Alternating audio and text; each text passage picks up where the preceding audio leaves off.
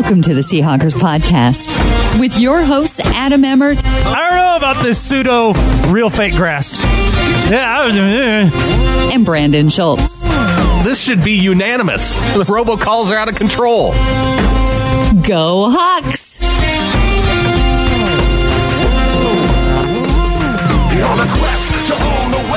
This is episode 222 of the Seahawkers podcast. I'm Brandan Schultz of the Military Seahawkers, and joining me, my good buddy, Adam Emmer. My man, Brandan Schultz. How are you, bud? Dude, I am fired up. It is, by the time this launches, Adam, you are going to be just packing your bags, getting on the mm-hmm. road, picking me up in Kalispell, and we're heading to Canada to catch our flight to London. Absolutely. I have not been outside of the U.S. since I was probably, I don't know, 10. And I'll see Canada and England all in uh, one trip. Yeah. That's pretty amazing. You you live within an hour and a half of the border, and you haven't crossed it since you were well, ten years old. So back when I was ten years old, guess what? You didn't need to go to Canada. Yeah, a passport or correct. Of, right? Yeah, yeah. Well, then they changed that rule, and then I just didn't go. And hmm. but now I have a passport. This this trip has forced me to get a passport. That's good in case I ever need to escape the country. Uh, because if uh, the Rams continue to to win games and go undefeated, I may have to escape the country. But I don't think that's going to happen. We do have some thoughts on the Rams, of course, with the Seahawks taking the 33 to 31 loss this week. And we're going to talk about where to place the blame, coaching versus execution more positivity about the offensive line in the show. And with the Oakland game coming up, you can find out. You can come hang out with us if you want. And we're going to tell you how to do that a little later on in the show. I am so stoked to meet so many of you listeners, you little flockers, people that uh, have been on my radar for a long time. It's going to be an absolute blast. Can't wait. Well, let's get into the game with the Rams. Uh, we got some of Clinton's thoughts in the post game reaction show, and and we're waiting. I'm sure there's so many so many of our listeners, Adam, who are waiting to hear from you in this game. And I think our mantra of winning is better than losing. I think that was tested a little bit this week because after the win against the Arizona Cardinals and after the loss to the Los Angeles Rams, I feel distinctly different ways in either case, is winning better than losing?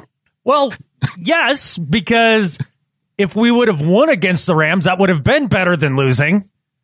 Still. So, and if we would have lost to the Cardinals, opposite, it would have been it would have been worse than winning. Yeah, even though opposite world feels like it's in full effect this last two weeks, because yes, I think we all felt far more down about the team after the Arizona Cardinals game. And I don't know, I haven't listened to to you and, and Clinton's post game show or any national stuff. I, I, haven't listened to crap what anybody had to say about this game because I wanted to keep my own opinion about this to to bring to you guys without it being really uh, skewed by anybody else. But let's first, I want to thank uh, Clinton for coming on and uh, filling in in the post game show for me. The man, the myth, the legend, creator of Three and Three Out. If you haven't been watching those uh, amazing vlogs on the Seahawkers podcast YouTube channel, then you're missing out. So go check that out. Check out uh, what Clinton does. It's amazing. But I don't know about you, Brandan, but this is the game that I watched, and at the end of it, I was like, "We're back." Really? Okay, because yeah. some of our some of our listeners didn't feel quite the same way. Michael in San Diego says moral victories don't feel as good as catfish. He wins.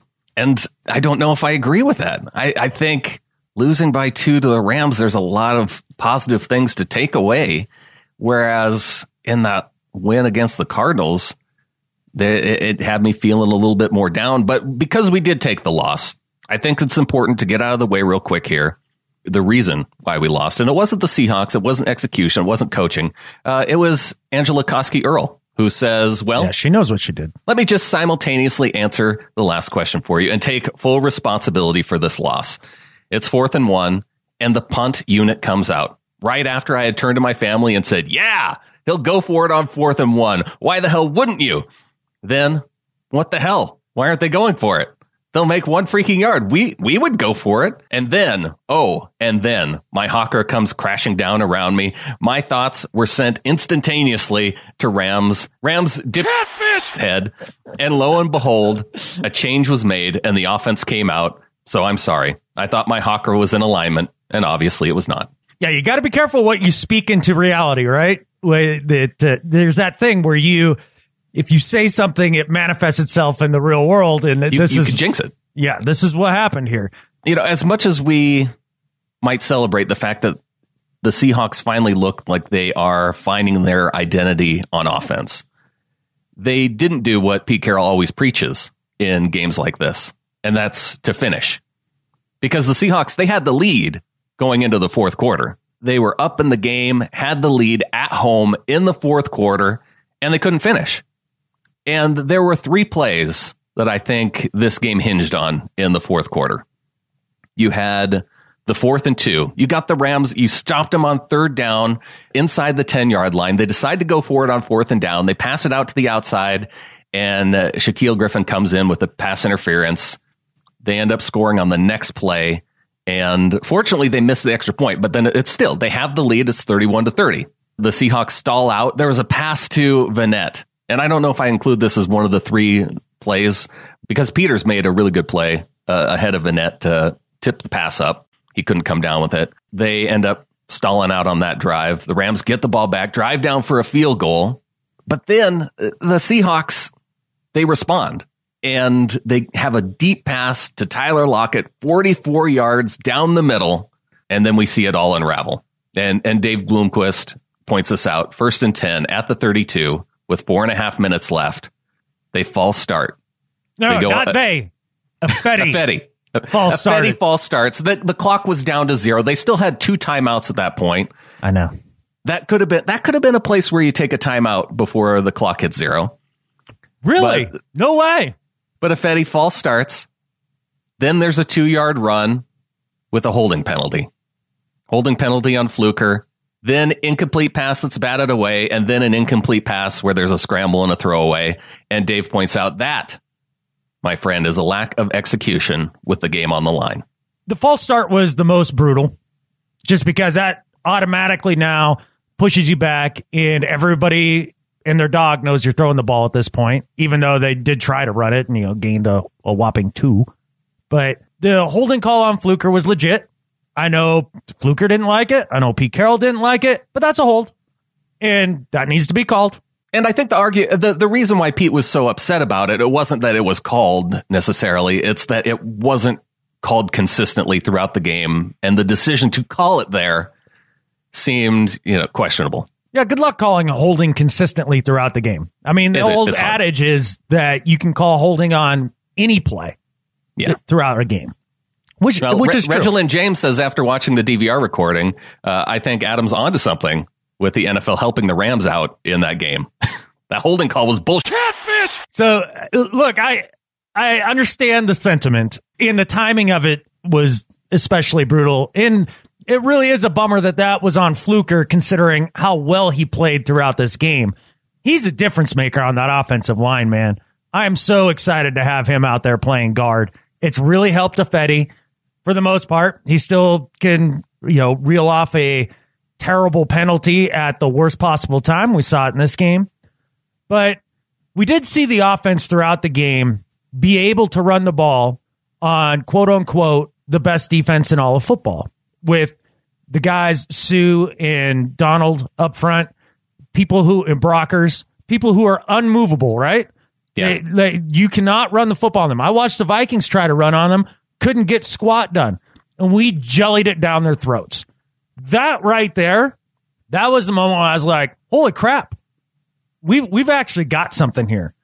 Because this is this is the third week in a row that they've actually been able to run the football and run it really, really well once is a coincidence, twice is a trend, three times is a you problem. In this case, three times is a is a you success. This is great. and it makes all the difference in the world with Russell Wilson in the passing game. My only critique of the of the running game would be I want to see Russell keep it more. I I know that there are people saying that he has a hamstring injury that has not been confirmed, but he's still able to run around enough. And if we just let him keep it a few times on some of these read option looks, just make the defense respect it just a little bit more. That run game, when he does hand it off to Carson or Davis, would be even more explosive. So I, that's something I would like to see and didn't see. But you talked about three plays that uh, were kind of the difference in the game. I feel like this was one of those games that you weren't going to win because you're going to need the ball to bounce your way a few times. And boy, howdy, did the ball just bounce the Rams' way throughout the entire game, starting with Frank Clark's strip sack of Jared Goff that bounces directly back into his hands.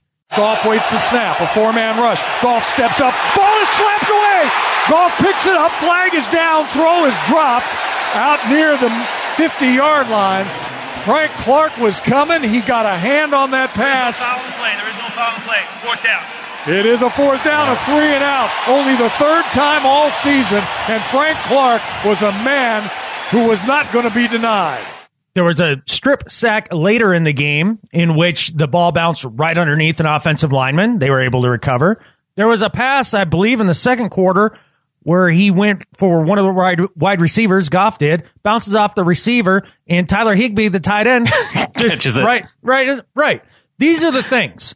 These are the, these are the little things that like you understood the football gods were just against you a little bit. Yeah, they but they did have some. I mean, they did have a couple turnovers in this game. Let's talk a little bit about the strip sack that wasn't a sack because I, I found out something interesting. If the quarterback fumbles the ball, like Frank Clark knocked it out of his mm-hmm. hands, if the quarterback's able to pick it back up and attempt a pass, it's not a sack. Seriously. Yeah, Wow. Okay. That's why you. Why, that's why in the you look in the box score. Yeah. Jared Goff only sacked one time, and it doesn't have any Seahawks player listed as as having a sack. Although I, I think they did give one to Quinton Jefferson because if you remember the moment where Jared Goff steps up in the pocket and he just loses the football out of his hand, yeah. that was that was the one sack that counted. Interesting. Well, I, you break out the NBC the more you know music, right? Because Yeah, I, if I you can attempt to pass after fumbling it and recovering it, then it's didn't know. a sack. I didn't know. Thank you. Thank you for the public service announcement. That's you bet. That's great, Brandan. Well, you didn't let me finish my three plays because Oh, I thought we kinda- did. I'm sorry. No, Jeez. well, I I had I had uh, I confused things a little bit. That's my fault. Well, I'm confused now. Then, are you guys confused? Nod right now if you're confused too. Nod right now if you're confused. No, the the third play that the that the in the fourth quarter that the game hinged on was that fourth and inches where the Rams decided to go for it and couldn't get the stop because they they did stop him on third down. Tedric Thompson came in the hole and Amazing. absolutely hammered Todd Todd Gurley in the hole to keep him from getting the first down. And all you have to do in that situation on fourth and inches is is stop him, and then you have the ball on your side of the of the field with a minute and a half left. Sure. And not saying that I mean that's it's kind of a high probability play for the Rams to go for it on fourth and inches. I understand. Yeah, not, not not just go for it, but to get it. Yeah. I mean, all you have to do is kind of lean forward a little bit. Exactly. The QB sneak is unbelievably effective in those situations. I don't care what team you are. It's almost impossible to stop. This is where I felt like Pete got caught up in coach think instead of instead of understanding the flow of the game. Because I, I thought Angela's uh, email hit this right on the head. As a Seahawks fan, when they trotted out the punter, weren't you excited to see Johnny Hekker? I was. I was thinking I was. about I was thinking about the potential fake. They've done that before to us. Well, maybe. Okay, fine. But they were going to punt the football. Like that was happening. And the play clock was running down. So I don't understand for the life of me why you call timeout there. Let me ask you this, Brandan. If I had told you going into this game that with a buck 05 left, you'd get the ball somewhere around the 20, Russell Wilson uh, has a minute five and a timeout, and you're down two, would you take that? I would. Okay. I would. And okay. So if, you, really, so if so that's it- the case, so if that's the case, which I mean, me too.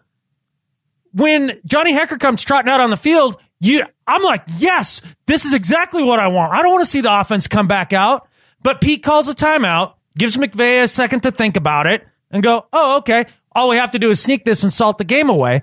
And you're like, well, if we stop them, then you you get the ball with more time. Well, the odds of you stopping them are so uh, minute that saving the 30 seconds doesn't really matter. Let let Sean if if Sean McVay needs more time to make that decision, let him call the timeout, and you save uh, uh, your one remaining timeout. Yeah, and if well, they you were stop out of him- timeouts at that point. th- well, there you go. so, like, uh, to me, that was an abomination.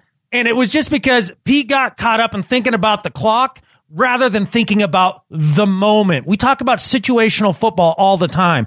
That's a situational football play. Now, am I mad at Pete about that? No, I, because that's a mistake almost every coach in this league will make at some point or another. Clock management is terrible when it comes to NFL coaching for whatever reason. I I, I don't know what it is, but I think they overthink themselves. Well, I and maybe they don't think about it enough is the problem. Maybe they just think more time is better than a timeout. And in that situation, that because Pete had already called the timeout before they came out to measure it, they then they decide to come out to measure it. So they say, "Yeah, do you still want to take your timeout, or or do you want to keep it?" And he says, "No, I want to take it." And and then that's what gives the Rams extra time to make that decision. Yeah. I'm more of the opinion that it's inconsequential because you have to one, you either have to stop them on the fourth and one, or you have to drive the length of the field to the point to where you can kick a, a, a game-winning field goal at the end. Right. You know, there- but, with, but with the way the defense had been playing that whole second half and the way the offense had been playing the whole game, which unit do you want to be making the game winning plays in that I think moment? either yeah either either one in that moment can make it. Oh, Brandan, come on! Out of the two What units, the offense done out of the two point? units, In which entire- one? Which one had had- been effective the throughout the whole had game? the entire fourth quarter to try and make something happen. They had two and drives. short, and short of penalties on the last drive, they were doing it. Which unit had been the more effective unit throughout the game? It's a very simple question. Oh yeah, that, I agree with you. Okay. But it's one play versus having to. It's it's one play on defense at that point That, where that you is, have to that make a is stop. nearly impossible compared to we've seen Russell Wilson be the guy since he's come into this league with the most fourth quarter stats. I want it in his hands. I want it in the offense's hands in that Yeah. particular uh, moment. Yeah, I, I wanted them to do something on on either of the drives that they had the opportunity in the fourth quarter. So that's why I think that you can't you can't put it all on on I the don't. timeout. I don't put it all on that because But- the defense. You say the offense had uh, two drives there in the fourth quarter to get it done, and then didn't. My my rebuttal to that would be the defense also had every opportunity to make a stop at some point in the second half, but couldn't. Gave up a score on every single drive except for the final drive, just because the clock expired. Right. All we needed was one stop in the second half. One. And that game is over. We win that game. And they had it. They had it at that moment. If if Shaquill Griffin doesn't get the PI on fourth and two, if he That's tough. uh, It- it- that's tough. if he's going for the ball rather than uh, the the back of the it was receiver, PI. He got there Oh, early. Absolutely. That's what I mean. If he if he's looking if he's looking for the ball rather than just looking at the receiver's back and and planning to hammer it, I think that he sees that it's going to be outside and or or he doesn't get a penalty because he's actually going for the ball rather than the, the you know getting there just a little bit too early, or if he you know he's Well, that's the he thing. times So, it up just a little bit better.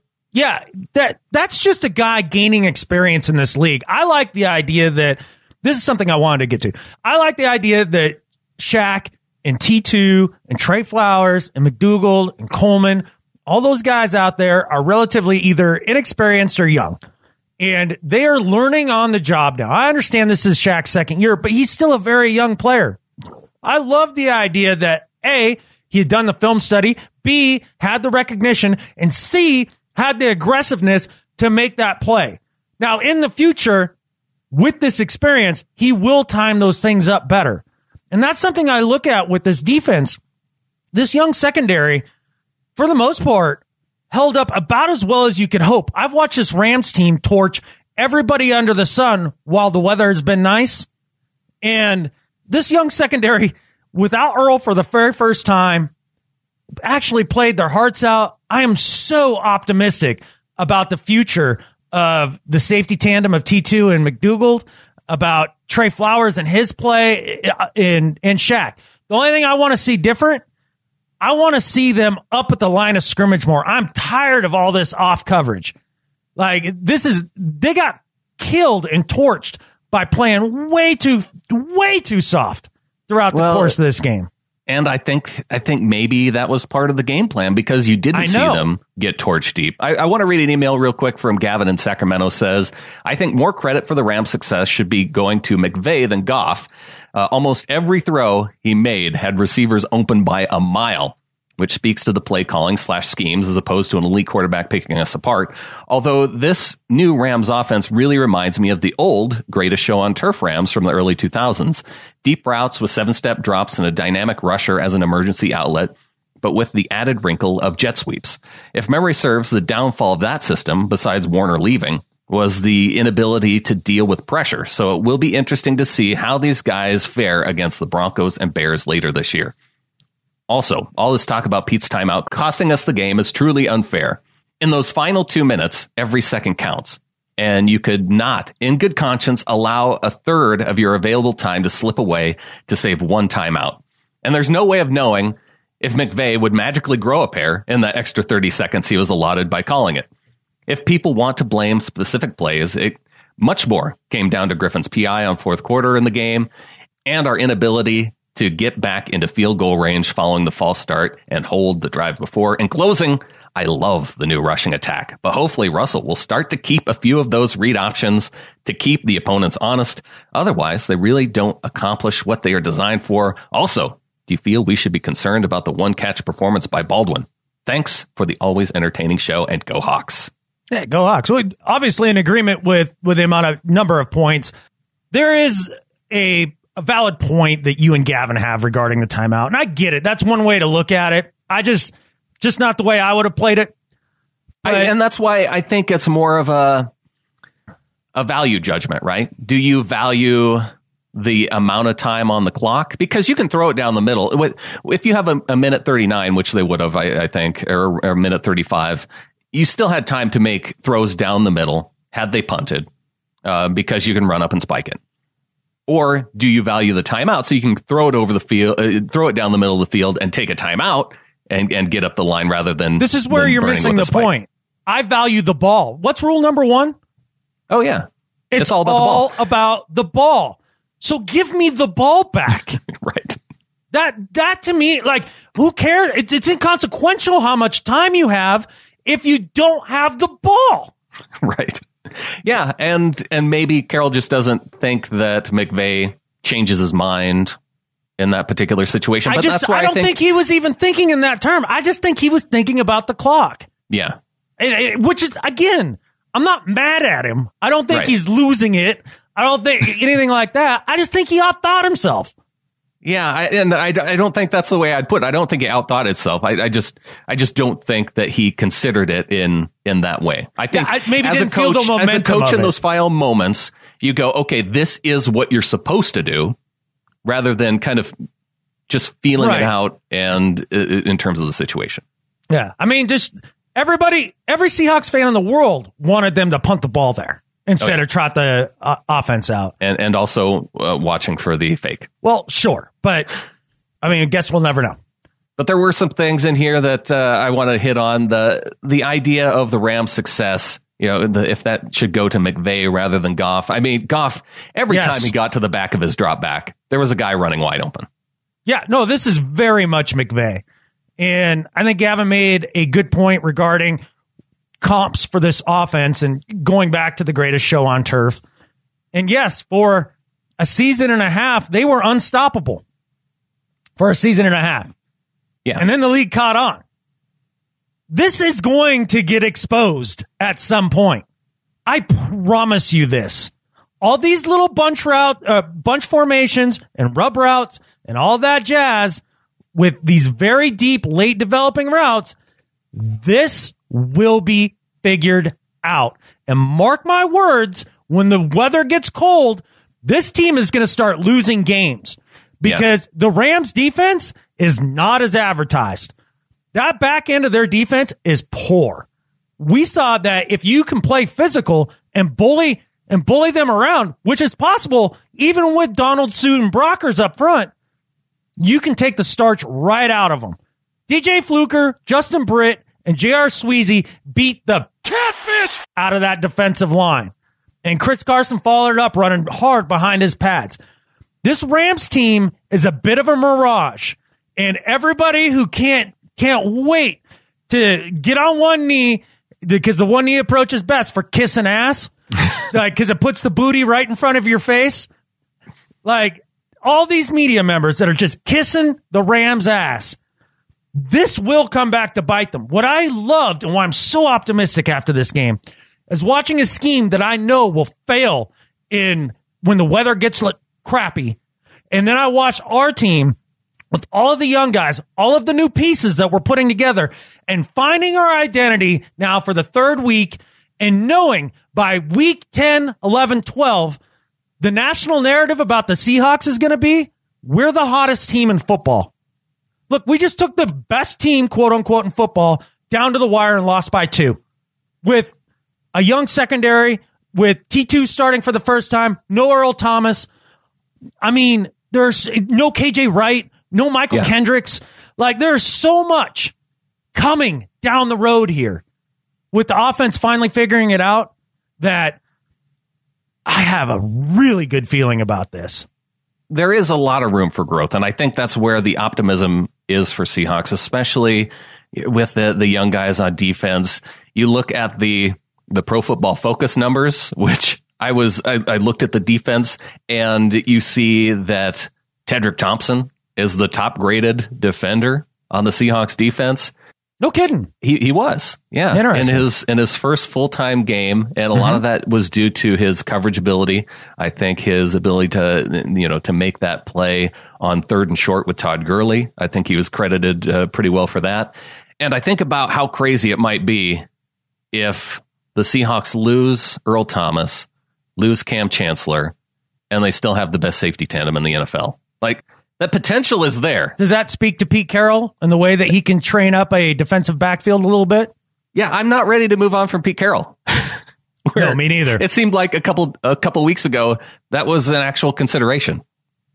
And oh, I think among, we're going to talk about this more on, on the okay. bonus show this week because okay. uh, uh, Tim Moon sent in a, a long form essay on why yes! why Pete Carroll why he must stay. Well, yeah, I mean, I, I can sum it up right quick for you. He's the most successful coach in Seattle Seahawks history, and he's a quarter of a way through a, a rebu- rebuilding year, and it's starting to come together. Yeah, how about that? Hmm. So yeah, I I just I think one of the biggest bugaboos in this game. I mean, we talk about things that are to blame for losing this game was missed tackles in the open field, and T two had a few of them. Uh, I'm trying to think of everybody who had some missed tackles, but there, there were quite there were, a few. Yeah, and were, that's something that is a fixable. B will be fixed as these players get out and actually tackle more throughout the season. With the way the off seasons are uh, structured, you're not allowed to hit. You're not allowed to practice real live tackling. And with all the new rule changes and all that, it's difficult for guys to get in the work to be good at tackling early in the season. We've talked about this over and over again over the last five, six years, where at the first four or five games of the year, the tackling's kind of poor. And then by the end of the year, they don't miss a thing. And so it's coming. Jonathan Stein hit on hit on it as well. He said the timeout at the end of the game didn't lose it for us. Contributed, sure, but it was missed tackles, open receivers. Did I mention missed tackles? The the tackling was pathetic. And they had 10 missed tackles on the day, three of them from Justin Coleman. And that was because Robert Woods was, holy smokes, it, that guy was the player of the game for the Rams, I think. And Tedric Thompson, he did have two missed tackles in the game. Trey Flowers had one. Shaquill Griffin had one. Frank Clark, Shamar Stephen, Barkevious Mingo. So that, that's your rundown on missed tackles there. Right. I do believe that will get better. There were a lot of positives on yeah, defense as well. Frank Clark, you mentioned the forced fumble earlier, but then he comes up with the interception on the Rams' next drive. Second and goal from the two. Quick snap. Goff has time, looks to the end zone, throws. Ball's tipped in the air. Ball is picked off in the end zone. Coming near sideline is Clark. He's out across the 15. Breaks a tackle. Across the 20 to 25. Ball is tipped up in the end zone, and Frank Clark comes away with it. And he looks like the second coming of Jim Brown, running the football all the way out to the 25 yard line. Yay, the, the, the Wyman chuckles are back. yes. Those are great. Look, I, it's a real shame that the NFL won't allow Frank Clark to wear his cape out on the field because he is a superhero. He deserves to wear a cape when he's out there on the field. Being hospitalized twice throughout the week, losing 12 pounds, and then on his, uh, I think it was his Instagram was like, oh no, I'm playing. Yeah. And then he comes out there and has a dominant performance. Ultimately, only finishes with, with two pressures, but uh, the way he was playing early on in that game, especially, uh, he was the guy that you had to watch for.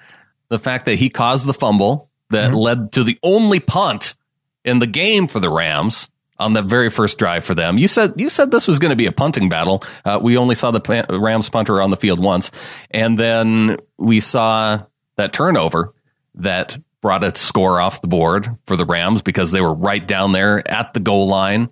And you know the other person we should mention as part of that pick, Tre Flowers, getting his hand in there in front of Todd Gurley and tipping the ball up in the air. Bobby Wagner gets a hand on it, and it ultimately ends up in the hands of Frank Clark yeah, it, just a, a, tremendous effort by Frank Clark. And I really hope I hear about a Frank Clark extension in the next couple weeks before he hits uh, the open You don't market. want him to hit free agency. I don't even want to come close to there. like, I've seen enough. Sign the man. He's young. He's dynamic. He's our best pass rusher by far doing it without Michael Bennett and Cliff Avril, which there was that question, right? Could Cliff Avril mm-hmm. still be the dominant pass rusher on a team without those players on the defensive Could line? Frank Clark be a dominant uh, right, right. pass Could rusher? Fra- yeah. Yeah. Without Cliff Avril or, or Bennett. And I think it, this defense and this pass rush will be benefited when Rasheem Green comes back. I, I, what exactly is wrong with him? That it's ankle. It's an ankle. Okay.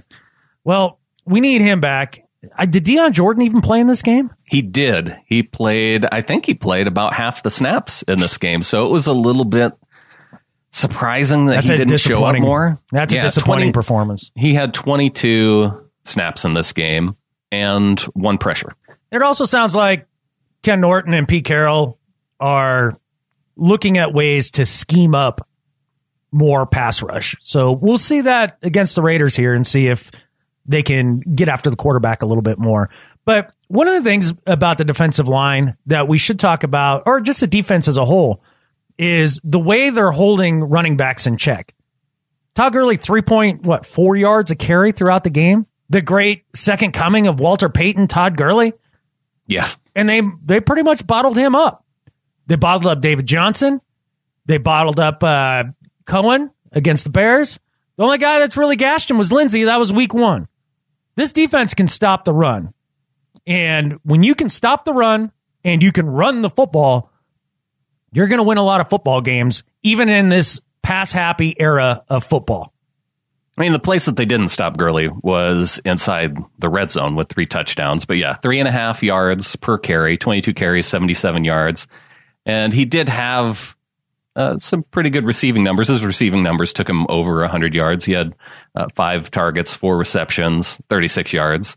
Uh, they they bottom up about as well as I, I think you you'd say that if he finished that that's okay except for the touchdown numbers I suppose. So I I really enjoy the idea of where this defense can go, where they are right now, and just knowing that that young secondary is going to do nothing but improve. The fact that Tre Flowers, I mean, he looking at the the stats for this game, they didn't credit him with with any catches. Interesting. I didn't know that. Two targets, no receptions is what he was credited with. Bobby Wagner, though, five targets, five receptions. And a lot of those, I think, were just because it was the middle of the field was so wide open. So I think that's why Bobby Wagner takes uh, a lot of the blame for those open wide receivers over the middle. I don't think he was there necessarily to defend them because that was just, it's, it seemed like that was their plan was the Seahawks to, to funnel everything to the middle. Uh, Shaquill Griffin, seven targets, six receptions, 107 yards.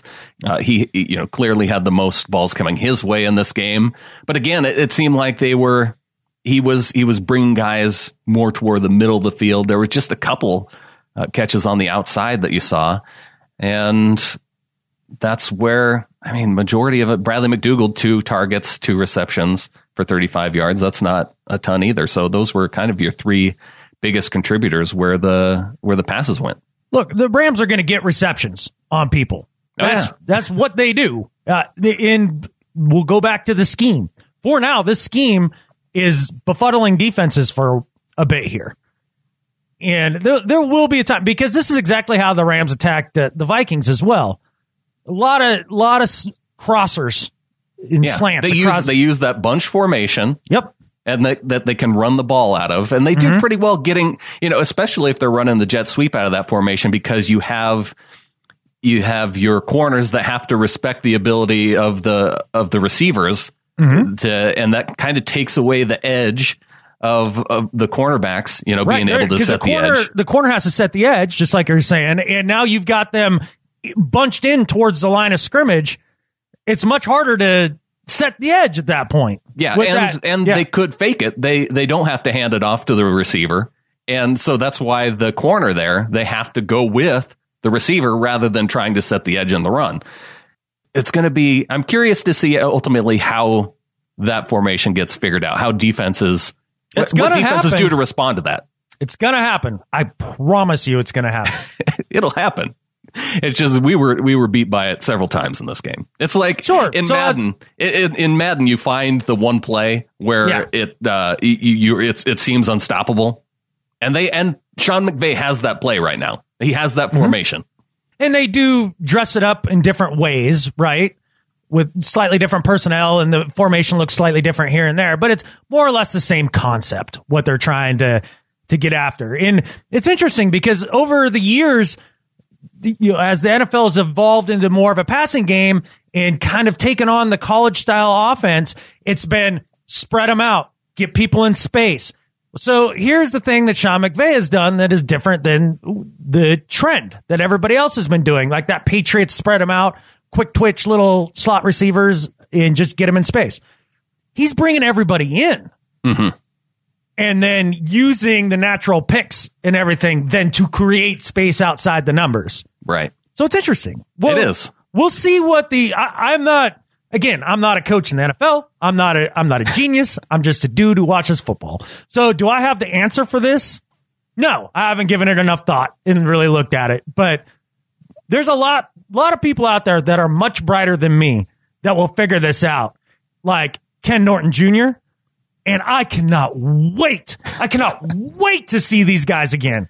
Yeah, we're beating them the second time. I, I'll make it's a guarantee. I'm Joe Namath right now.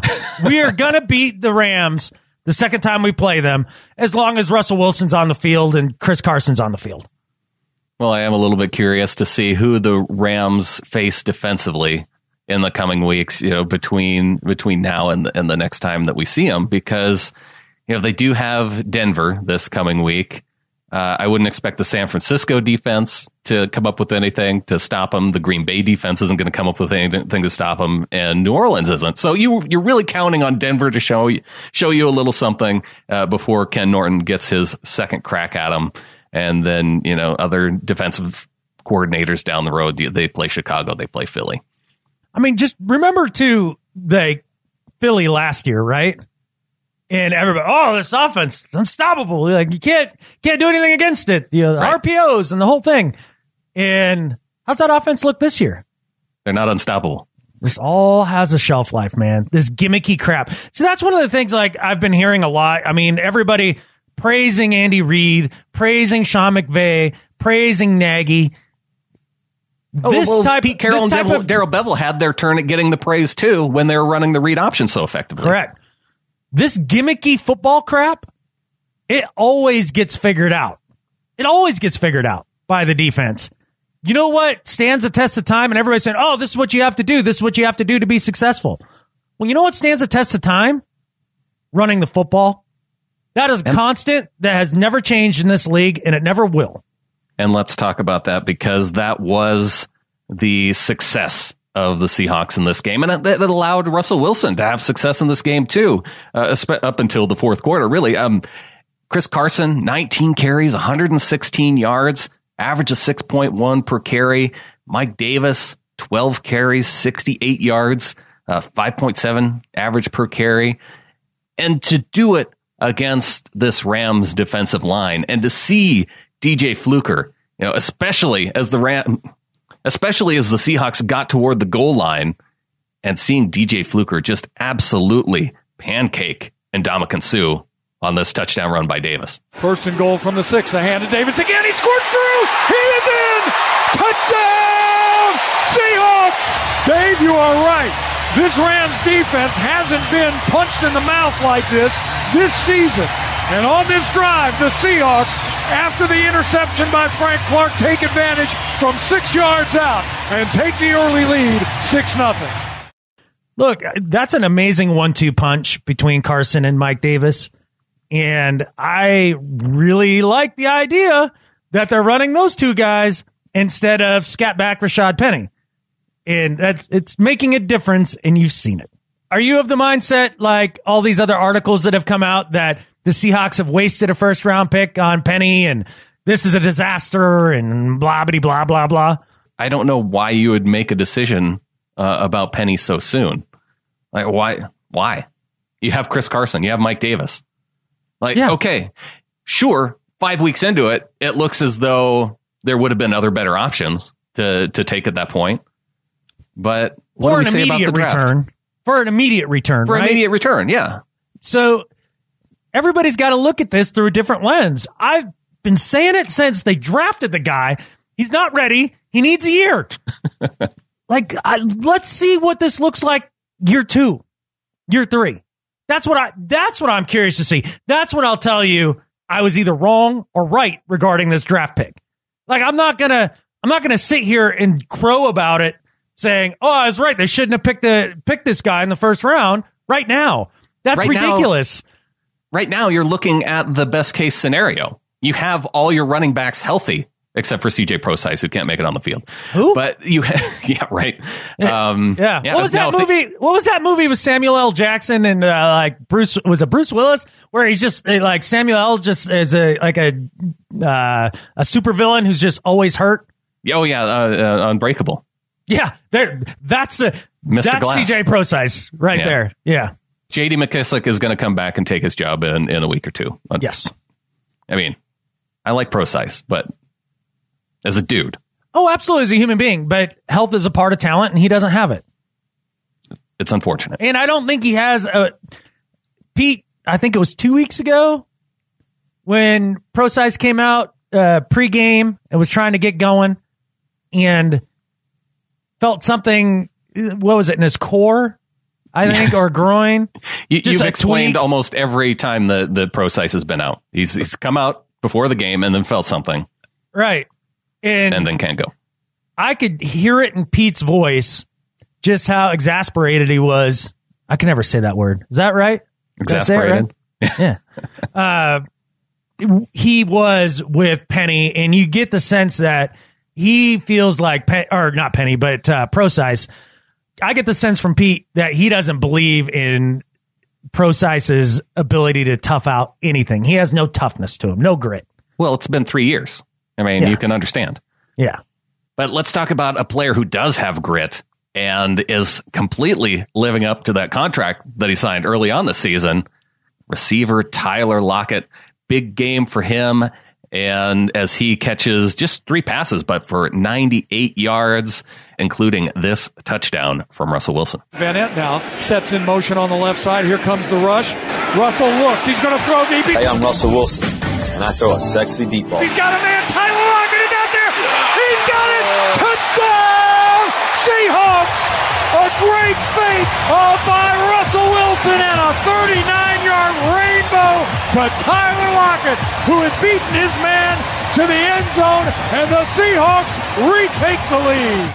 Wyman just needs to realize, like, he has to just, if you're going to be excited, just go for it. It almost seems like he's trying to hold back on his excitement, and that's why it comes out the way it does. Yeah, it feels like somebody in a production meeting somewhere when he was doing practice calls going into the season told him to like take it down a few notches or something. Yeah. Uncork it.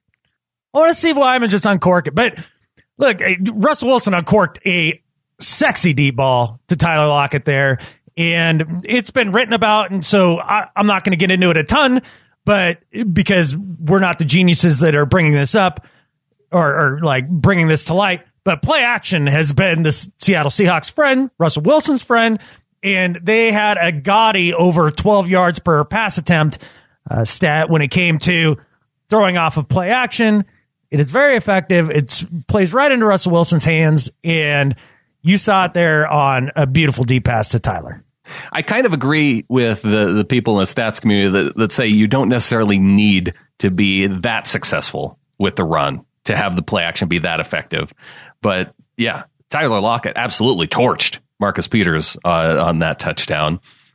And I want to go back to something you said earlier about, and also in the email about Russell Wilson keeping the ball a little bit more. We're, yeah. we're not seeing that. And when I see plays like this, where Russell Wilson is down the field blocking. I don't. I'm not buying the idea that his hamstring has any kind of issue with him running. Russell from the shotgun hands it off to Davis straight ahead inside. He's got a first down and more. He's out across the 40. He's on the run midfield. He's got blockers. 40, 30, knocked out of bounds, just shy of the 30 yard line. Mike Davis starts up inside, bounces it outside. John Johnson finally ran him out. DJ Fluker was 20 yards downfield blocking, as were two wide receivers. So was Russell. A big 37 yard game. Yeah, I'm with you on this one, I think. I mean, maybe his hamstring is bothering him, but it's not severe by any stretch of the imagination. Like, he could still keep the ball on a read option and run around the corner, I think, and pick up six, seven yards. We we haven't give David Moore his love in this game. Uh, you, you, called out Mike Davis for having a generic name. You also have David Moore. He was That's on. Not that was, generic. It's it's a little bit generic. You don't know a lot of Moores. Do you know one person with the last name Moore? There's all kinds of dudes in the NFL with the last name Moore. Uh, it's not. It's not Davis Common or Anderson. okay. Yeah. But you do have you you talk about Russell Wilson's ability to keep the play alive and he finds David Moore in the back of the end zone for his first career NFL touchdown. Ninth play of the drive on second down and goal. Russell play fake, looks, stops, looks again. Now he starts again. Now he rolls right. Still looking to the end zone. Now he goes, touchdown! Seahawks! David Moore! But did he get knocked out of the back of the end zone? The Rams say he stepped out. One official has his hat off. Touchdown! Officials say touchdown. David Moore kept himself alive, and from three yards out, he scores his first NFL touchdown, and Russell Wilson kept that play alive. Well, he reestablished himself in bounds. I don't, I don't think he went out. I think it was uh, the other guy who, uh, yeah, I think it was Vannett who went out. I thought they both went out. Oh well, maybe he did. But if, if they if he did go out, he did reestablish himself because that's what the officials called. Correct. But I don't know what it means to reestablish yourself. Like I don't know what to look for. If you just have to get a couple more feet back in bounds to yeah, I think it's uh, both you feet. And you kind of have to be in balance for a beat or two. it's definitely a judgment call. Yeah, I mean maybe there maybe there's a actual rule to this, but I'm not familiar with it. I mean there there is a rule. It just says you have to reestablish yourself. Right. I just don't know what that looks like. I don't know. I don't know. Hard to say, but. David Moore's been a bit of a revelation. He's starting to live up to that preseason hype that we had heard. And I think we found our top three receivers at this point, right? Doug Baldwin, Tyler Lockett, David Moore, and then you sprinkle in a little Brandon Marshall and, and Brown, and that's your that's your receiving corps. Yeah, I'm a little bit surprised we haven't seen more of John Brown out there. But it does feel like it, yeah. it's coming together with those three guys. Doug Baldwin, you know, despite having more snaps than any other receiver, he had 53 snaps, just one catch for one yard early on in the first quarter, where Russell Wilson just flips it to him a little bit and he steps out of bounds. Uh, you have David Moore, and like I said, the number three guy, 31 snaps, about 50% of the time. And then Brandon Marshall just had seven snaps. And if you're just mixing him inside the red zone, I, I think that's fine. That's totally fine, especially for a veteran receiver because I'd rather keep him fresh throughout the season. Yeah. So that that really works well. And uh, one of the emailers that asked earlier, one of the little flockers, about the idea of Doug Baldwin only having one reception and if that should be a cause for concern. And I'd say no. Look, I think a lot of it revolves around the fact the way the Rams were playing, they were trying to take away Doug Baldwin. They know he's the number one option. And I don't see the knee injuries as being completely a problem in far, as far as it taking away his production on the field. I think it was a focus on what the Rams were trying to take away. And so then Russell went to other places. That's how offense works. Yeah, and I think Sam Shields, uh, he he may even be now that uh, Aqib Talib went down to injury.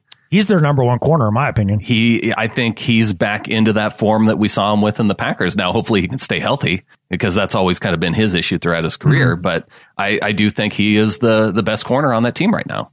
Yeah, I, I believe he is, and and that was the guy on Baldwin this game. Yeah, I mean, people blaming Peter's injury as the reason for his struggles. They don't understand Marcus Peters' game. He is a total gambler, and you saw him get beat. I believe it was on that David Moore touchdown by looking into the backfield. And if your front front four aren't getting home and getting immediate pressure, Marcus Peters is a problem and a liability. That's why the Chiefs were willing to get rid of him. And and you're absolutely right. He he got beat the second time on the second David Moore touchdown. Play fake to him. Russell looks left. Now comes back. He's going to throw deep. David Moore. He's there. Touchdown. Seahawks. Are you kidding me? David the second coming of Raymond Berry. Two touchdowns in this game for the youngster from 30 yards out beat beat back the truck up. Uh, like let's let's hold off the Raymond Berry comparisons here already. All right. Now maybe you need to explain who Raymond Berry is because is this another one of Rabel's '80s references? Oh, this is a Raymond Berry was a player for the Colts back with Johnny Unitas. He was he was the all time leader in everything receiving at, at one point. Okay, so this isn't even an 80s reference. This is like a 60s reference. Oh, this is the Wayback Machine. How dare you not know who Raymond Berry is? He was a game changer. He was the Randy Moss of his era. He was Jerry Rice of his era. From 1955 to 1967. But now we all know. So you're welcome. Thanks, Rabel. But uh, David Moore's playing great. This team put together a performance, even in a loss, that has me looking towards the second half of this schedule where we play almost exclusively at home. And I'm licking my chops for it, man. We will get at least a wild card spot because tell me the team in the NFC other than the Saints, than the Saints that scare you. Who else scares you that you think is legitimately better than the Seahawks? Okay, legitimately better is one thing, but one of the things that I am concerned about is how the tiebreakers will play out with the NFC North team because I'm assuming at this point the Rams are going to take the division. And you know, there's going to be two other division winners. I think the other wild card team comes out of the the North. I think the I think the other wild card comes out of the South. That's a good point. So you have maybe one wild card team out of the South, one out of the North that's competing for it. And we've already lost one game to the Bears. And I know they're looking good right now. They're kind of up there. The the media loves the Bears along with the Chiefs and the Rams, apparently now. Mm-hmm. So, with their easy schedule, they'll win that division. You think the Bears are winning the division? I do. The Packers are a mess. They Packers are a, are a hot mess. So the Vikings would be the one competing for the wild card. So you just have to you have to win that game at home against the Vikings. That would be critical. That tie really hurts the Vikings. Well, we'll see. Ties can either help or hurt. It's going to hurt them. Okay. We're making the playoffs, man. I, I hope so. Because out of the South, you look at New Orleans is probably winning that division, right? Yeah.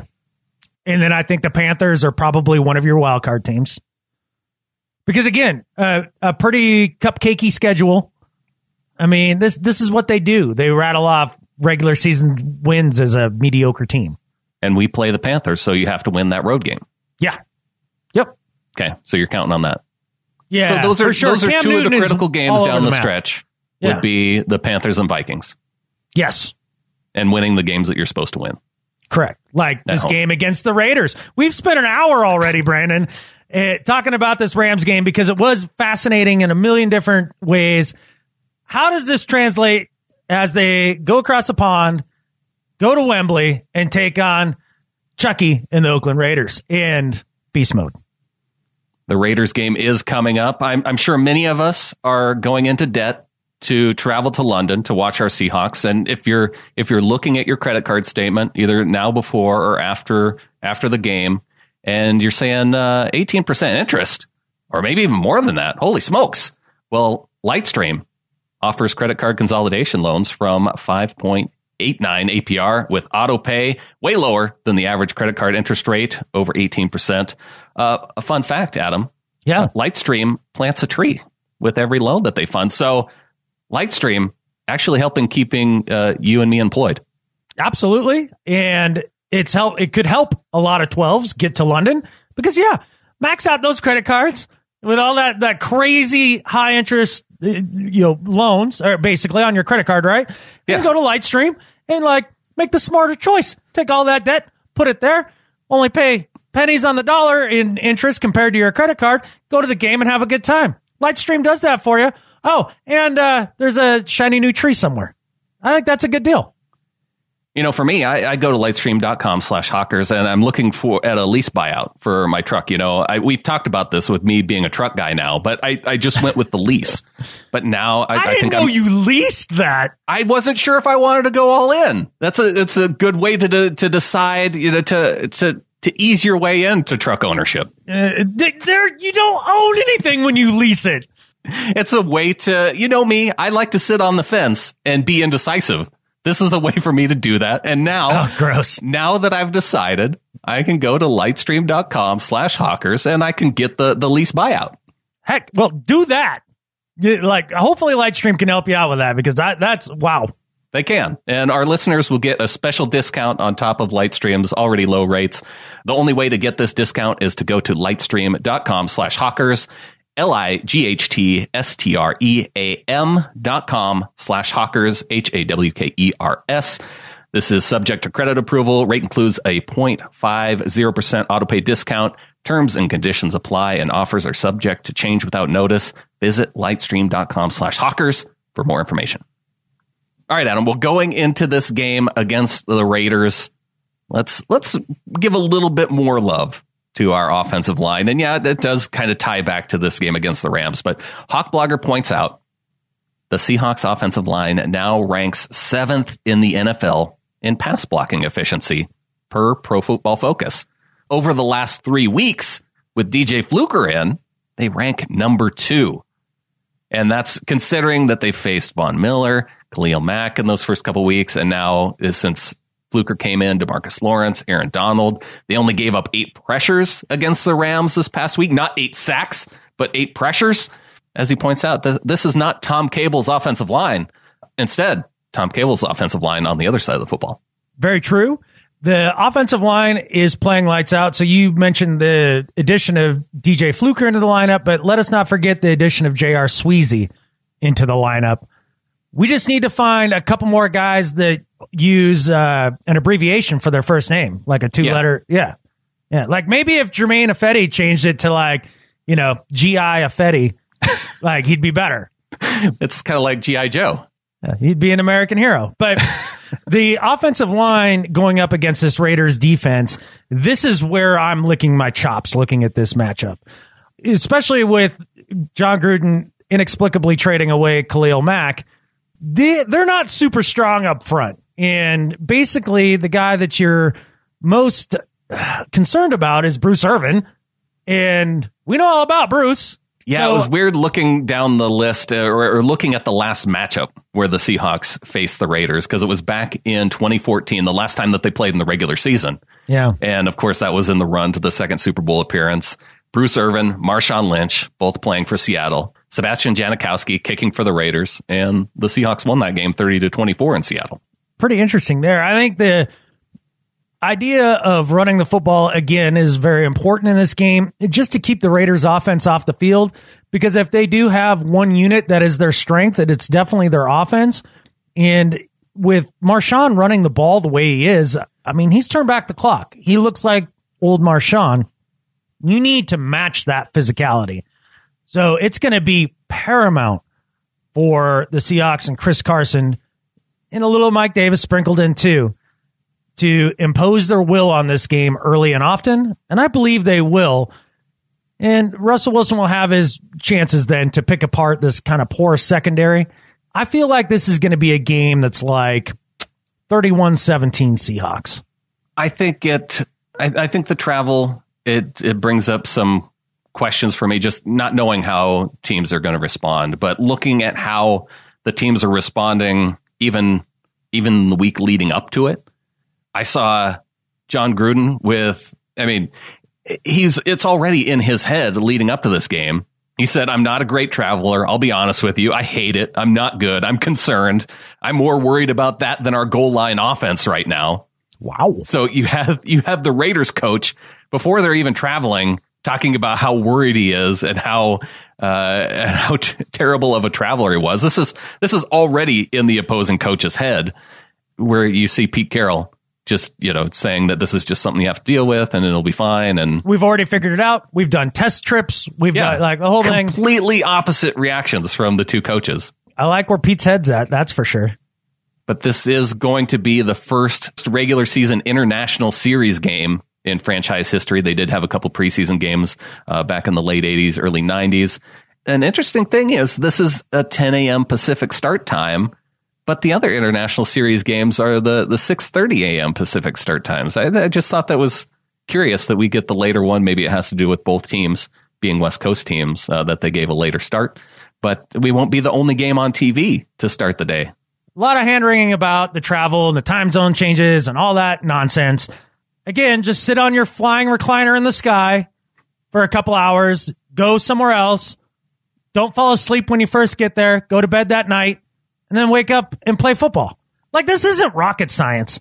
I think like, the big question is is how how do the Raiders respond to the idea of throwing an interception when they were first and goal at the one yard line and deciding to throw the ball rather yeah. than run it with Marshawn Lynch and Mel- Melvin Ingram picks it off in the end zone. You know how how do the Raiders respond to that adversity moving forward?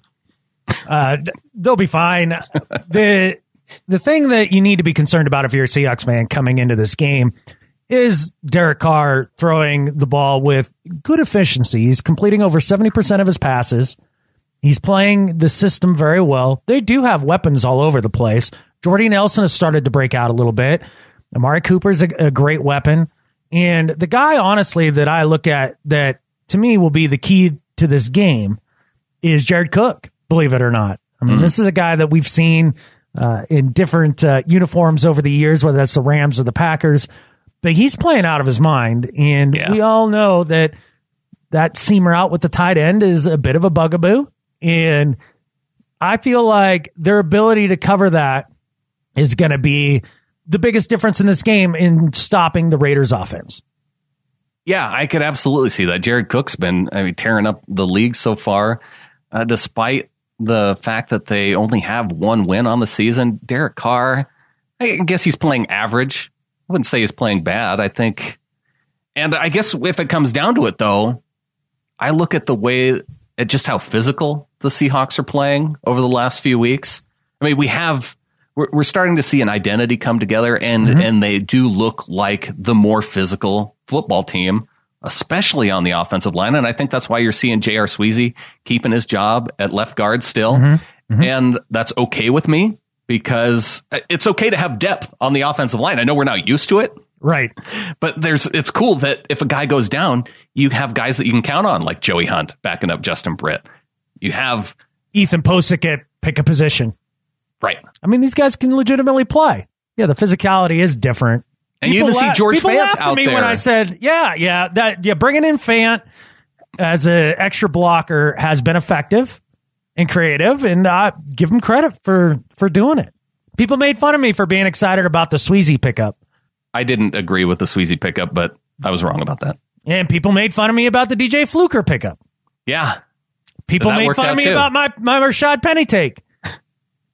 Look, maybe maybe listen to me more is what I'm trying to say yeah. Okay. I may know things. Y- you might, or you're really good at guessing. One of the right. two. Yeah, I'd rather be lucky than good, dude. Well, it will be the Seahawks' ability to get pressure uh, with just the front four, and that's that's really been a struggle for them to this point of the season. You know, Dion Jordan, Rasheem Green being out, Frank Clark can't do it all by himself. Uh, he he will get his couple plays here and there for sure, but this is a, a pretty talented offensive line for the Raiders too, and you do have Marshawn Lynch. It's just that the Seahawks have been able to to stop those top backs, and now we've seen it with David Johnson. Now that we're seeing it with Todd Gurley, I think we can expect to see it with Marshawn Lynch too. Yeah, bottle up Marshawn the, to the best of your ability. Uh, keep them off the field, number one, by just holding the ball and winning time of possession. I think that's going to be a big part of it. Be super cognizant, uh, be super aware of Jared Cook over the middle. Take that option away, and then try to make him beat you outside the numbers and with pushing the ball down the field a little bit. Derek Carr will make mistakes.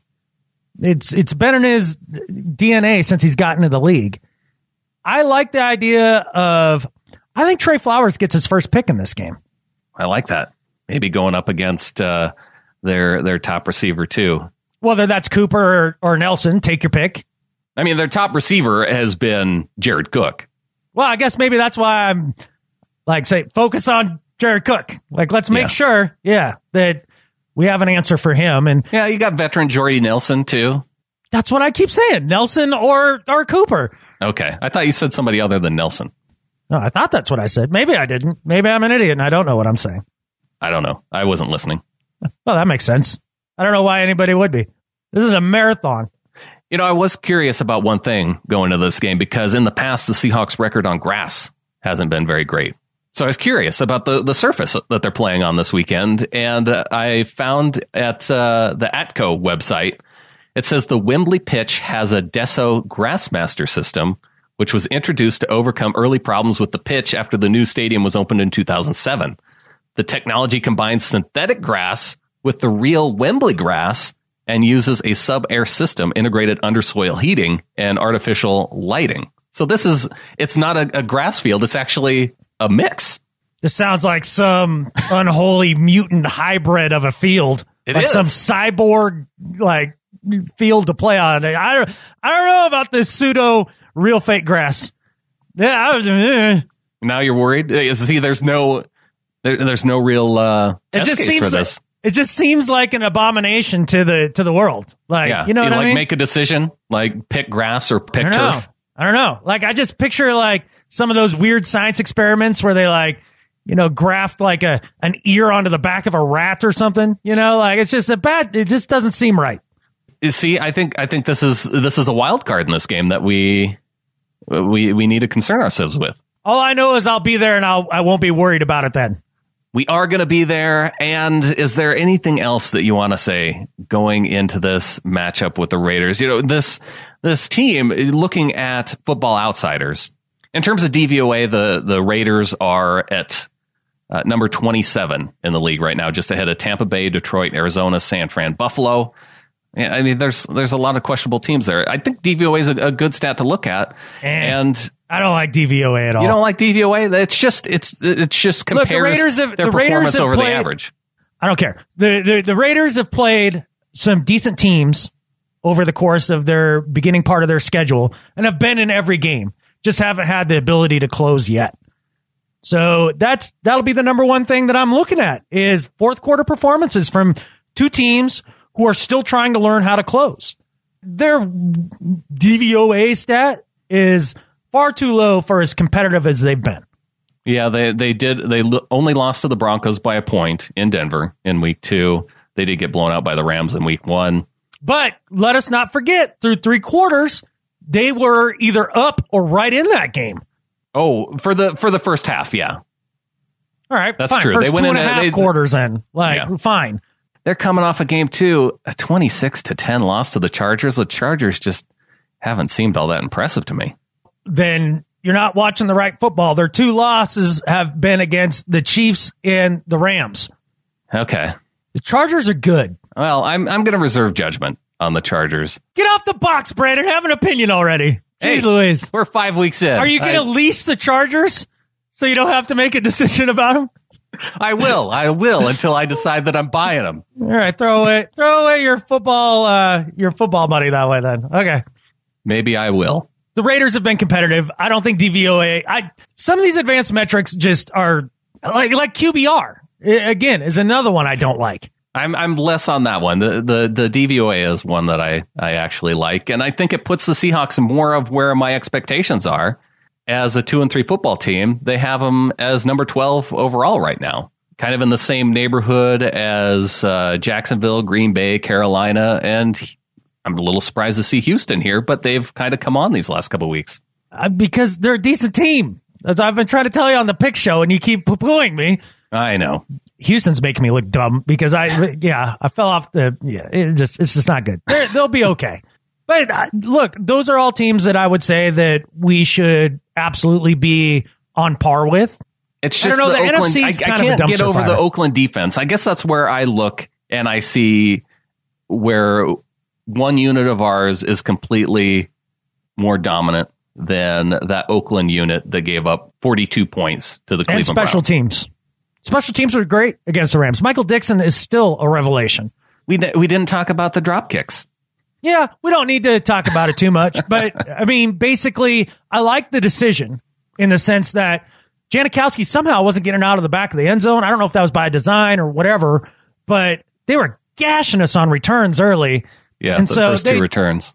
Yeah, and the first drop kick wasn't specifically effective. I mean, I think they ended up around the 35 or something like that, so it wasn't a huge change, but it got better as the game went on. And uh, yeah, I, I, mean, I liked it. Curious to see how how that uh, plays out moving forward. We do have an email from Jerry in Warwick, England. It says hi to Adam and Brandan, to all the other Hawks Hawks fans from the U.S. and from Europe. The game is a sellout with all tickets going within five minutes. For me, like many other, it is a chance to see the Hawks for the first time, having supported them since the 80s. I have listened to you guys for the last two years for free, being a cheapskate, but carrying on the good work. I listen to the podcast to cheer me up on the dreary drives and endless queues on British roads, with your cheery banter making the miles soon disappear. I would like to apologize to the rest of the fans in Section 526 for my foghorn of a mouth while cheering on Pete and the boys on Sunday. I believe there will be far more Hawks fans than Raiders there, all having their field of dreams moment. If you build it, they will come. All the best, Jerry Palmer. Go Hawks. See you there, Jerry. And do never apologize for being a loud and proud 12. Uh, and I agree with him. I think that the stadium will feel much more like a home game for the Hawks. Just looking at the amount of uh, little flockers that are going to be in the stadium, like, I mean, just us, just us from this show we might be the difference in that game. like there's Maybe. a lot of there's a lot of folks going that listen to the pod. It's pretty crazy in, in, in all areas of the stadium. It is. Yeah, it was cool that uh, Hong Kong Hawk Dave Bloomquist put together a little uh, diagram on our, our, our London Facebook page for the podcast. And you know what, Jerry, uh, he he pointed out that uh, he's been listening for free. That's fine. Uh, but you know what else? Uh, no new members of the flock this week, Adam. Oh, what? Yeah. Uh, we're, we are sitting at a pretty good number, 312. I, I think it's a good number to be at uh, at getintheflock.com. But uh, yeah, we got we got skunked this week, dude. That's unacceptable. we're in the middle of the season, working our butts off, putting out three shows a week. Not one. Not one. Man. So I, I was I was going to give out the link to the London Facebook page just on the show. Uh, but instead, I think I'm I'm going to have to post it at, at getintheflock.com mm-hmm. and and a post there just so people have to go to that site to, to find out where the link is. There you go. I like it. Just so well, just so to make sure that you're aware that that, that site still exists. Yeah, absolutely. Because somehow it it's been forgotten. Yeah. But uh, and and if you're a, a cheapskate like Jerry, you know you don't have to sign up, but you know the, that link will be there to the Facebook page, and, and we'll get you added to the group. I like how I like how you've uh, added a, a new moniker to throw at people that don't donate to the show. I, I went with freeloader. Oh well, you're uh, going Jerry, with cheapskate. Jerry said cheapskate right in his email. I'm oh, just okay. So that was using his words. All right. Well, it's funny that he called our banter cheery. Uh, I would imagine that anything in that comes from outside of the UK feels cheery compared to what's going on there, right? Like isn't that isn't that the, the the the stereotype of England is that it's just kind of a dreary, sad place? Oh yeah, like Seattle. Yeah, a little bit. Maybe that's why there are so many uh, UK fans of the Seahawks. I don't know. So with the game in London coming up, uh, we, we got an email here from from Dave Bloomquist. I think we should listen into this little bit of audio that he sent along to us. Hello, hello, British Brandan and Orgy Borgy Adam. unpacking me rucksack and polishing up me accent, getting ready for me trip to the UK. We're gonna have a banging time, we are. All me 12 mates and me. It'll be a jolly holiday. Them bloody blankers from Oakland are a dog's dinner. I'd be gobsmacked what they even gave us a proper match. Well, tickety boo, flockers, I'm off to Bedfordshire.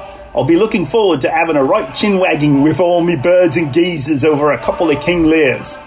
Jubbly wobbly. Oh, and catfish and chips, them manky raiders. I, am going to go ahead and apologize uh, on behalf of the show uh, for Dave, because I, I, I, have no idea if that's offensive.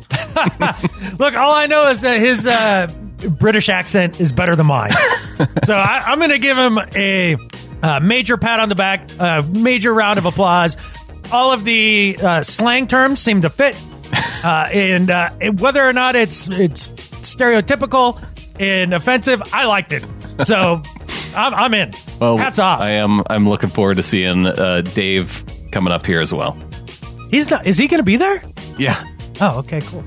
One review here uh, says sleep can wait. Honestly, I don't know why other podcasts don't take notes from your show. Keep up the good work, guys. And to everyone who doesn't say "Go Hawks" at the end of each podcast, do better. well, thanks, man. That now, now I'm feeling a little bit of the love again. That feels nice. Yeah. And Scott AH 1982 on iTunes says, Awesome podcast. I love tuning into the show. Great insight. I do have a question on the Arizona Cardinal game and Earl Thomas. Didn't see any good plays from him. Then he gets injured and gives the bird to the sideline. What's your insight on him? I'm from Spokane, Washington. Hey there from Spokane. Uh, I'll be, be spending a week uh, just north of there, uh, not long from now, doing a really big job. But uh, we've we've kind of covered the Earl stuff. Yeah, but I appreciate the review, man. Yeah, that uh, that game against the Cardinals it was maybe one of his rougher days uh, to go out on, but uh, yeah, we got we got two two now, and and that's who we're rolling with. So uh, good to see a good game from Tedric. Hopefully that continues against the Raiders. Randy from Fort Jones, California. Hey guys, just wanted to drop a quick note after listening to the last episode where you recap the Cardinal game. Uh, I too have been pleasantly surprised at the quality of our play from our young defensive backfield. We will never again have a quote Legion of Boom, but would you dare say we have baby boomers? I know it's corny, but so is Little Flockers, and that stuck. Go Hawks! fair. That's absolutely fair. Uh, with a, you know an argument like that, it's difficult for me to not be on board with baby boomers. I hope that doesn't stick. Yeah. Yeah, I don't think it will. I, I kind of hope the little flockers yeah. wouldn't stick either, but. But it did. But it did. Yeah. One day you're going to like it, I promise. Okay. Well, now that we have patches with it on there, and I'm going to be bringing patches and stickers and stuff to the, the game this week too. So if for those yeah. of you who, who did get in the flock or are planning to, mm-hmm. I will I will have envelopes for you just to just to save me uh, a few bucks on shipping. I'll bring them with me. Hey, you bet. What's what's better than having uh, a little Seahawkers podcast swag mailed to you? Having it hand delivered. So that exactly. uh, yeah, I, I think that's going to be great. It's going to be so much fun to hang out with all y'all over there. Uh, we're going to have a meetup, I'm sure, right, Brandan? We are, yeah, and uh, we will have that. We'll post the details on the Facebook page. We are, uh, we're going to be at the UK Seahawkers gathering on Saturday night. I know we're going to try and swing by that Seahawks uh, bar that's uh, on the Seahawks.com website that they're featuring. Our hotel's not too far from there, so I think we'll probably be there on Saturday at some point, and then we're planning a pregame meetup. Uh, location only disclosed on the Facebook page to uh, hit up before the game on Sunday. Yeah, the Ring of Honor Facebook page. No, our, which, our, uh, our Seahawkers London page. Oh, right. Which, uh, if you want that link, you have to go to getintheflock.com. There you go. Well, we haven't mentioned our Pick'em League leaderboard yet, Adam. Yeah, that's because I don't care about it anymore. You're done with that? I don't know. I no, I do care about it. I just I'm a little bummed out of my performance so far. Yeah. Well, D Weezy has the lead, 53 correct guesses so far this year. And you got Jake Off and Jess Trev, who's leading it up. Jess is uh, she's also number two uh, behind D Weezy on the the VIP Flockers leaderboard. She was a, a correct score away from winning this past week. She loses the tiebreaker with voice in Jared Goff's head. Sam gets the win. he he guessed a cumulative score on the Monday night game of 63 points. So Sam gets the tiebreaker and the win. Well, that's a pretty solid team name. And I think just based on that, you got to get the win, right? Yeah. Even you know what? The, that that might be Jess's problem. She did not. She just is going with the the abbreviated. Uh, just her just name saying. abbreviation rather than saying rather than a team name. Yeah, rather than come up with uh, a creative team name. So think about know, that, I mean, Jess. It's just how it goes. Although she's in third place overall, so she she's still doing better than most of us. Now, now you're just mocking me. We're tied for second place overall, rather. So, right. Yes, and this week we are going to. You know what? I, I don't think I'm going to announce the prize this week because because of the fact that you and I are going to London. I say mm-hmm. I say we pick up a souvenir in London to uh, for this week's Pick'em prize. Done and done. I totally concur with this. It's a great idea. So even if you're not going to the game, this is your chance to uh, to win the league and and get a cool prize. Absolutely. If you are a VIP flocker at three dollars and above at getintheflock.com. We'll find out if our picks are any better this week. Uh, if you do get in the flock, you do get the bonus shows, and the bonus shows consists of all of our picks uh, from the uh, from the NFL uh, for the coming week and a little bit of our insight into each and every one of those games. It's entertaining, and uh, the trash talk is fun. So uh, just a dollar a month gets you those extra shows. And we're bringing some Seahawks content into it this week with with Tim Moon's uh, Pete Carroll essay. There you go.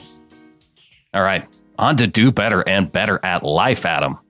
My do better is for everybody that's ripping Odell Beckham this last week. that was really weird. Like, what did he do? Well, apparently he had some comments regarding Eli and some kind of veiled shots at Pat Shurmur a little bit about offensive play calling and things like that. Now, apparently he, he had some things that uh, were a little bit of a blow up back in the locker room as well. But again, he did that now inside and kept it within the confines of the team, right? Right. Didn't do it out in public. I watched him in the last game calming down Sterling Shepard, who was having a tissy fit, much like Odell used to have. And for people to be mad at Odell for calling out Eli a little bit, watching this uh, Giants Panthers game, watching this whole season, how in the world are you mad at Odell for calling out Eli a little bit? He's been terrible. The problem in New York is Eli Manning. He's not good. It's it's it's over.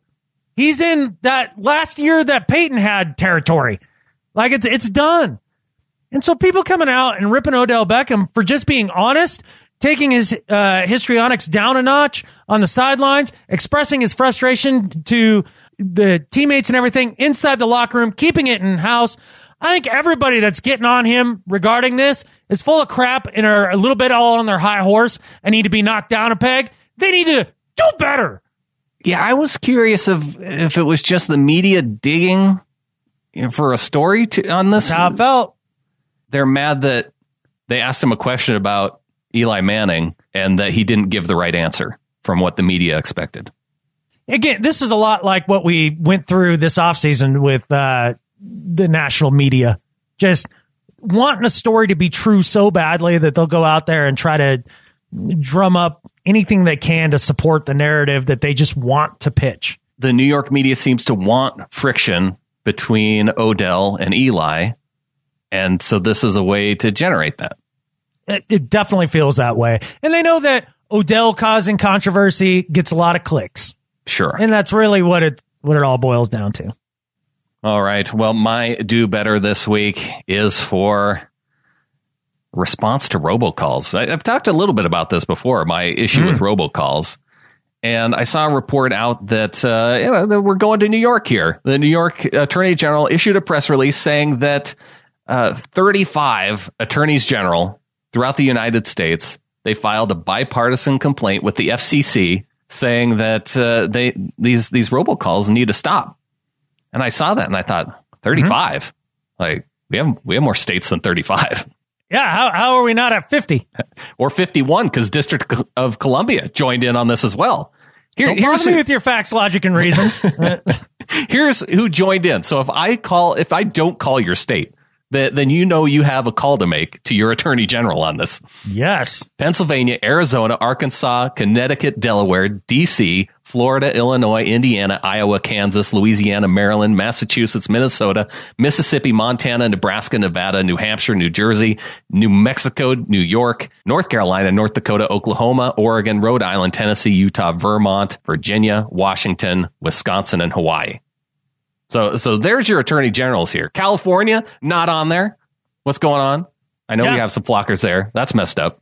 That Texas, is messed up. Texas, not on there. Yeah, Texas does its own thing. but, you know. So there you go. Now, this should be unanimous. The, the yes. robocalls are out of control. So, for any states that didn't get on this, do better. Yeah, for sure, man there's some there's some derelict on duties uh, attorney generals out there. What what what better thing did they have to do that they couldn't just sign on to this? How hard know, is attorney it? attorney general things apparently? you know, I, I, imagine attorney generals are busy. there, there is this uh, uh, election coming up. Yeah, so they might be busy. I guess that. there's that. I guess there's that. But still, do better. it's about how this affects me. I'm tired of. I like to answer the phone when somebody calls, and allowing it to go to, to voicemail just is uh, against my nature, and so I, I, struggle with this. I love I love that uh, you're starting to get to a point in life to where it's like uh, this is how it affects me, and this is what it's about, and I like that in you. I like seeing a little, uh, just a little bit of selfish pop out. This yeah. is good. Okay. All right, man. My better at life than Skip Bayless this week is for the Hubble telescope. Hooray, now, science. Uh, yeah. Well, I mean, look, it's this is this is where I get to nerd out about this stuff, and you guys have to listen. So tough break. Uh, the Hubble telescope has been in service for a long, long time at this point, and has done so uh, with a pretty good record. Once they, you know, fixed the little lens issue that they had, you know, mm-hmm. when they shot up a corrective lens in a shuttle and mounted it on there. Recently, they've had a couple more failures of gyroscopes on the on the Hubble Space Telescope. And you need three to really lock in where you're pointing and be able to like hold it there and see things for like a long period of time. The Hubble Space Telescope started out with six, it was down to three, and they just lost another one. Now, NASA's going to try to uh, restart one that had been on the fritz, but uh, you know it's not looking great. But they can still operate the thing with just one and so they're going to take one offline. If that doesn't work, operate at just the one. Just won't be quite as stable, but it's already gone two or three years past the service life that it was supposed to have with the last gyroscope upgrades. Mm-hmm. So still producing science, still producing amazing images. Think of all those amazing pictures you've seen from space that Hubble has provided. It's just been outstanding. And for being able to grit it out and limp along with even just one last gyroscope. Hubble, better at life than Skip Bayless. the inanimate Hubble telescope, better at life than Skip Bayless. You don't even have to have a beating heart to be better than Skip Bayless. You just have to be. You just have to be. You have to provide some usefulness to humankind. Yeah. it makes total sense. That's it. Well, my better at life this week is for the public servants taking care of our public lands on the Olympic Peninsula and protecting us from pea craved mountain goats, Adam. I had seen the headline to this story, but had not uh, dove into it. Yes, Popular Mechanics, the headline saying mountain goats are being airlifted out of national park because they crave human pee. Part of the reason why this is a good thing is that if you are if you're in Olympic National Park taking a hike on the trail, hey, if you've ever been hiking out in the woods, uh, you know what there's not there's not restrooms. You know, you have to go Correct. somewhere. Yeah. And it turns out that mountain goats they aren't even a native species of Olympic National Park. So really, yeah, they were introduced back in 1920 well, who was the genius that did that? I don't know. We did all kinds of things in the 20s. We stocked ponds with fish that weren't native, yeah, stocked rivers true. with fish that weren't native. So now, the, the, you know, a lot of our resource managers are having to to combat that. You know, 100 years later. Right. And the number of mountain goats are up over 700 in the park. So it's a lot of mountain goats. Yeah. And especially when the problem is, is that they uh, want the salt and minerals from our urine. And Right. so they're hanging out around the trails that we're, you Yeah. know, trying to go for a walk. And the last thing that you need coming at you uh, when you're trying to relieve yourself on a trail is uh, a mountain goat while uh, you, you, Look, you're I- in a vulnerable state. Look, Brandan, I will give you a personal anecdote as to the dangers of mountain goats. So there was a time uh, that my dad and I had climbed up Great Northern Mountain, which is just outside of Glacier Park. It's a 10,000 foot peak. And when you get up towards the peak, it turns into like a razor thin uh, ledge that you walk on up to the peak. Like Yeah. it's basically like a sidewalk wide uh, ribbon of rock that you walk, and it's you know a couple thousand feet drop down either side Yeah. hiking up there with my dad, we came across a mountain goat and with two kids. Ooh. And she was not excited and was being very aggressive and kind of bluff charging, you know, like kind of and backed us down the mountain, you know, to the point where I took the rifle off my back and was like, Am I gonna have to pop this thing? It was scary. Yeah. So for them to, it, with the, an intent in mind that these mountain goats have like some intent to like get these minerals, like they are scary out there. So this is probably a good thing. I, I think it is, and especially when you you consider that they're they're non-native to that area, so they're tagging, blindfolding, and actually airlifting the goats over to the North Cascade side uh, via helicopter, and trying to uh, put them in a, a more hospitable environment for them, where they can with less pee. with where that, that now there will be less uh, pee, but there will also be less interaction with people, so that that could be good for the goats too. And for that, Yeah. park managers better at life than Skip Bayless. I like it. That was solid, man. Good job by you. Hey, when I see uh, uh, some talk about pee in a headline, I, Yeah. you know I'm clicking. Tough to tough to resist, no doubt. You can't even call it clickbait because this is just good information. it really is. yeah, it wasn't even made up. This is happening. All right, Adam. Well, we are hitting the road here to go to London. Yeah. Couldn't be more fired up. And this is gonna be a this is gonna be a fun weekend. Looking forward to seeing the Stringers putting us up uh, Friday night, Absolutely. making dinner, Absolutely. cooking breakfast is the plan, and then uh, hanging out with all our UK Seahawkers. And this is gonna be a blast. It's going to be an absolute ball. I cannot wait. Everybody, ah, yeah, show up, man. If you're around, like, show up. I want to see you. I know Brandan does too. Let's blow this thing out. And let's make this feel like a home game environment for the Seahawks. Everybody complains about how Wembley, oh, there's you know so many fans of all these different teams. Let's get them on our side and let's take down these Oakland Raiders and let's you know meet up, get fired up before the game. Uh, Barrowboy and Banker Pub is the Seahawks bar in London. We'll be there at some point. And Adam, with that, There's only one thing left to say go Hawks. Go Hawks.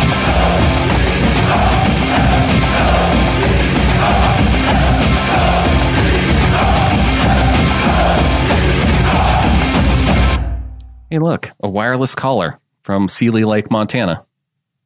Oh, really? Is your warranty expired? Probably. Or it's a limited enrollment period for healthcare. oh, right.